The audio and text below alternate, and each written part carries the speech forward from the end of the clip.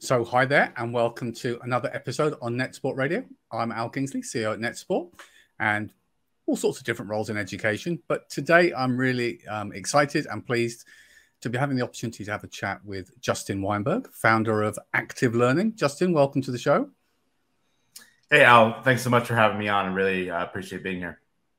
Uh, really looking forward to talking to, to you. Um, I think often we get very focused and, and, narrow in our educational subjects when we're looking in our schools and performance. And whenever there's a chance to talk about, well, some say STEM. Now, more more typically, we talk about STEAM. The arts slip in there as well.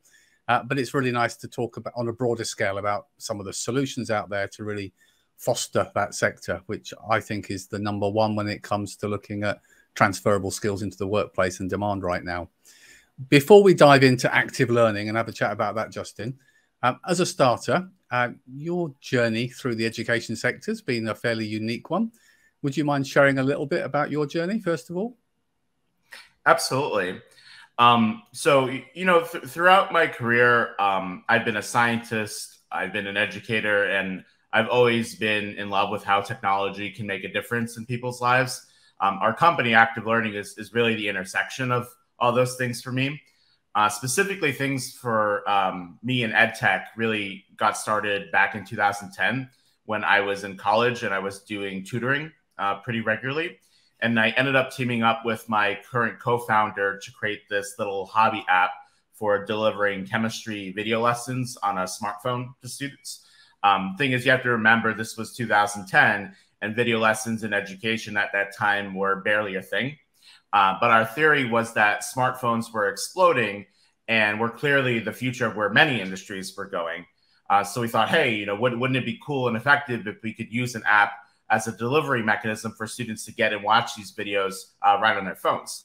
And we turned out to be right. Um, we put this app out, and all of a sudden, we got over 500,000 downloads on it in a couple of years. And we didn't promote it or market it or anything. Students just really loved it.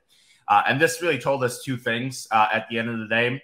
Uh, number one, there were clearly a lot of students uh, struggling in STEM who need help. And two, they were really looking at their phone uh, as a way to learn.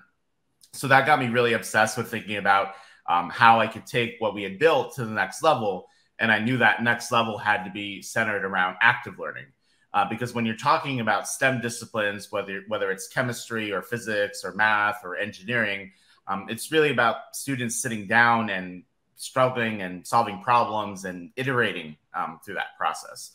Um, so, you know, video lessons are nice, what we built, and, and, they have a place and they have a lot of value, but ultimately it's passive. You know, someone's watching someone else kind of teach you something.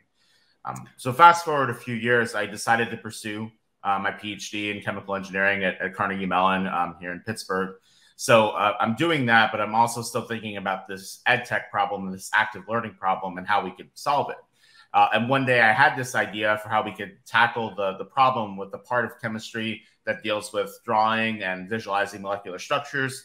So I got really excited. I called up Igor, who's my current co founder at Aktiv, and I said, Hey, I have this awesome idea. We have to go build it. And, and that, in a, in a nutshell, is how we kind of started the company. And uh, of course, there's a lot more story after that, but uh, hopefully that uh, gives everyone a sense of where we came from.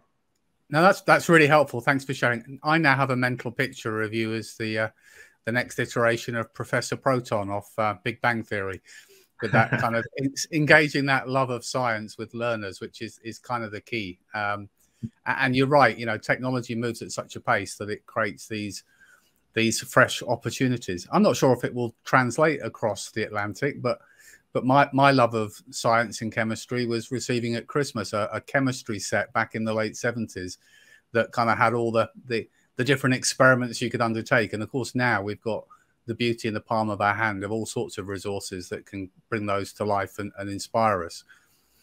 You've obviously focused around the, the, science areas, and typically, certainly across our schools in the UK, and we see it around the world, STEM subjects have been harder to teach, but probably more importantly, to actually get student engagement um, in the STEM subjects. And, often, and I, I appreciate luckily, unfortunately, that, that the journey is moving. Often we've also found it harder for girls to get them to actually get engaged and motivate with some of the STEM subjects. How do you think what you've been doing can kind of help mitigate some of that? Yeah, absolutely. This is such uh, an important topic of discussion and, and something we, we think about constantly. Um, really getting at the heart of, you know, how do we engage students uh, in STEM um, and how do we help them learn more effectively? Um, I would say there's there's three major things we could be doing to increase engagement for these students uh, and help them in these disciplines. Um, the first and foremost thing we need to be doing is, is we need to start listening to the abundance of research out there uh, in the literature uh, that's telling us to get away from the traditional lecture model uh, for these types of courses as fast as possible and move towards more active learning methodologies. Um, unfortunately, if we still take a broad look at what a STEM course looks like for, let's say, a college student today, um, there are still far too many courses being taught in a way where a student sits down in a classroom or a lecture hall and a professor just stands up and talks uh, for 60 to 90 minutes straight. Um, this simply isn't an effective way uh, for a student to be learning in the year 2022. Uh, and this just isn't my opinion. Um, there, there, have been entire meta analyses uh, performed of research studies on active learning and STEM where over 65 studies have collectively shown that incorporating active learning and problem solving uh, and discussion right in the lecture um, in STEM courses specifically really improves student outcomes and decreases uh, failure rates uh, in these courses. Um, this has also been shown to disproportionately benefit first generation college students uh, and minority students as well, um, which of course we want to promote um, in, in the STEM disciplines. So, so in a nutshell, we need to continue the trend towards more flipped classrooms, more recitation or discussion sections, and just just really accelerate it.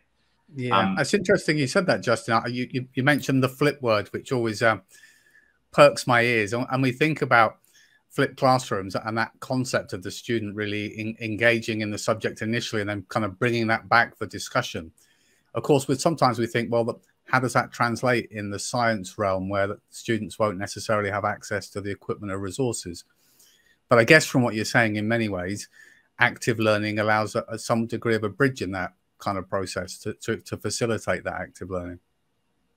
Absolutely, that's that's one of the primary use cases of our platform um, is to not only support active learning outside of class, where students can be doing homework or practice or quizzes on their own time, but actually how we can help the faculty and the instructor uh, engage their students in the classroom. Uh, in many cases, that may look like something like a flipped classroom or it's helping um, them kind of wean off on that traditional lecture model and insert a few engaging questions um, in the middle of a traditional lecture. You know, there's sort of that spectrum that exists from the traditional model to the to the flipped classroom, and um, not everyone's going to get there overnight.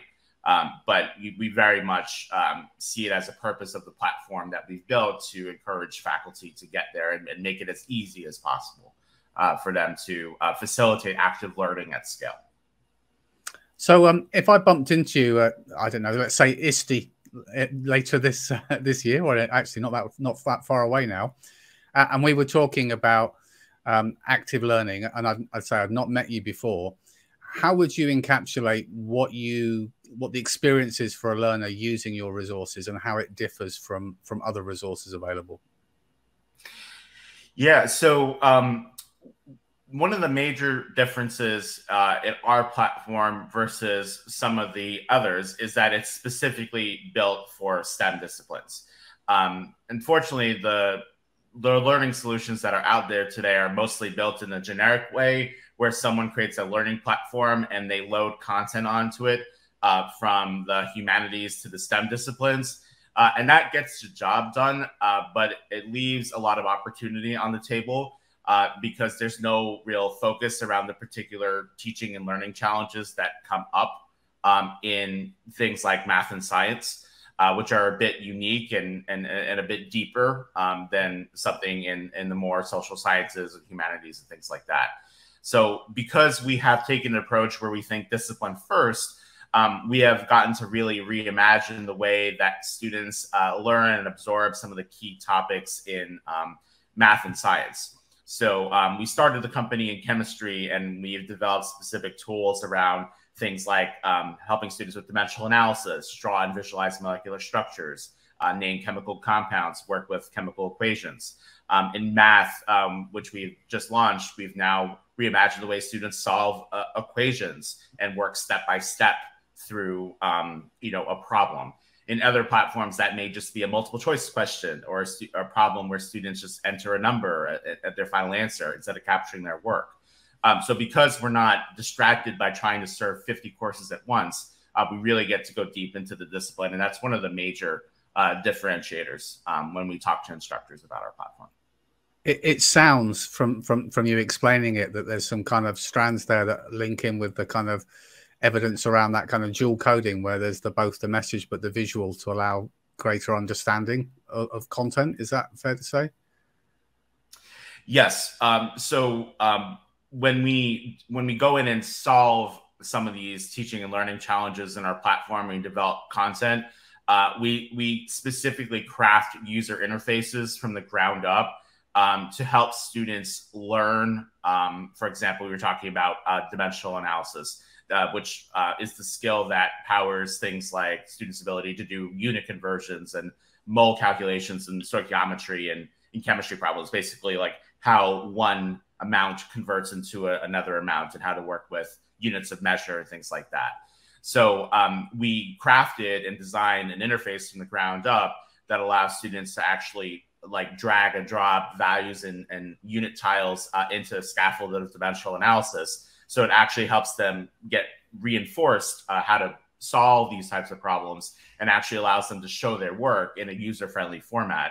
Um, we also use color coding, um, uh, like red tiles and blue tiles, to help students see the difference between values and units because they often struggle with that.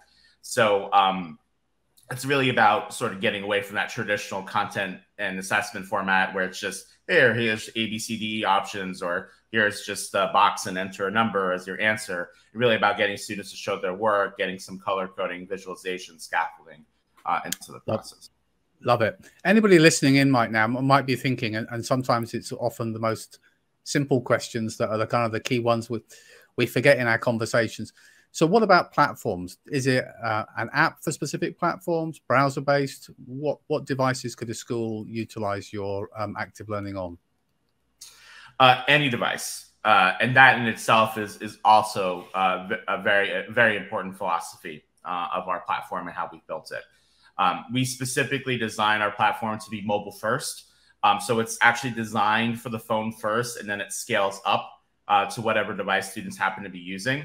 So on a phone and a tablet, like an iPad or an iPhone or an Android device, we actually have an app that students use. Uh, they download it from the Apple App Store, the Google Play Store. On um, a more traditional laptop or desktop or Chromebook, um, the students will use their web browser, uh, like uh, Chrome or Firefox browser, and it's the same experience no matter where they are. Um, this is really important to make sure that we're increasing access um, to the material for students so they're not just limited to that traditional laptop or desktop to do their work. We see a lot of learning tools um, that are out there for students today really kind of uh, limit them to those more traditional devices. And you yeah. can't get students if you if you design like that, you can't get students on the go. Uh, so we have students uh, on a bus, on a train, in a car, on campus somewhere with some downtime. They're just able to take out their phone and engage in a couple homework activities or a couple practice activities. Um, and sometimes we work with students in um, challenging areas where all they have is a phone and they have to go somewhere or, or go to the library or something to get access to uh, a laptop or desktop to do work. Um, so having that phone is is a, it's a huge deal uh, to a lot of students. Um, and at the end, at the end of the day, 93% of our students uh, on our platform have told us the mobile accessibility is important to helping them engage and increase uh, access to their assignments. So um, it's it's it's fundamental. That's really good to hear, and you kind of read my mind in a way because I think some of the lessons we've learned over the last couple of years, certainly with the kind of flex to, to greater use of digital within our curriculum, has been about making sure that we have, where possible, solutions in our schools that are platform agnostic. Uh, and in terms of digital equity, it's great having solutions, but not if only a percentage of our cohort can actually engage with them. So developing from the handheld up is absolutely the kind of big tick in the box. That that's really really good to hear. Um, as a kind of a roundup, um, people listening, are, I hope, are going to be saying this sounds like something we really should check out. So, how can people find out more, and what kind of resources could they have a look at just to get a sense of of the scope and flexibility of the platform? Sure. Uh, well, um, you know, I think we have a pretty great website, um, which is at aktiv.com, aktiv.com. Um, so we have a, a, really nice overview there of our um, chemistry product, which is what started the company, um, which is Aktiv Chemistry, and our newest product, which is now uh, Aktiv Mathematics. So you can get some really nice visuals and demos of uh, how the platform works for students and instructors and educators. Um, also on our website, we have a number of resources um, in addition to just a product overview. Um, one is a, a series of um, um, kind of what we call success stories, where you can hear faculty uh, um, hear faculty stories and their view and students' view on how they've used the platform in different use cases. Um, you know, not every college, not every environment is equal. So we think it's really important to highlight, you know, how this is working in a community college, how this is working in a big lecture hall, how does this work for chemistry majors? How does this work for non-chemistry majors? How does this work for organic chemistry? So we have all these different sort of uh, scenarios where faculty and students can can see um, how this is working. Uh, we also provide a number of other resources just around best practices and active learning, um, instructors um, who do certain things and research, and we provide those for free. Um, so uh, anyone can learn about you know what's going on in people's classrooms and get inspired and get ideas. We put out newsletters, guides, free webinars, uh, pretty much throughout the year as well. That's lovely to hear. Music to my ears. One of the other trending themes for the right reasons over the last couple of years has been about evidence-informed ed tech and actually looking at technology where you have got those case studies, that white paper, those white papers that really showcase how it's had an impact in schools. Um, so again, really useful that you've got those resources ready to go. Um, Justin, it's been a pleasure chatting to you. Again, for anybody listening in, website to find out more is aktiv.com, aktiv.com. Um, definitely worth checking out. There's some free resources there. And by the sounds of it, a great way of getting um, better insight and a better learning journey when it comes to those STEM subjects. So thank you so much for joining us today. Thanks so much, Al. It's great to be here.